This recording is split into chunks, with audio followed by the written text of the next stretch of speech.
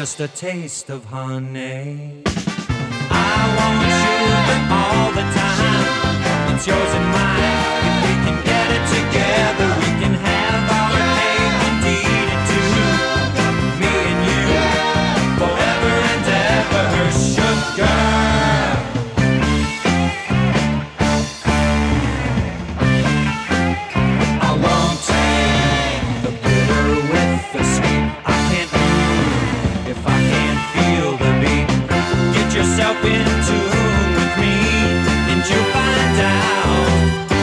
your life can be.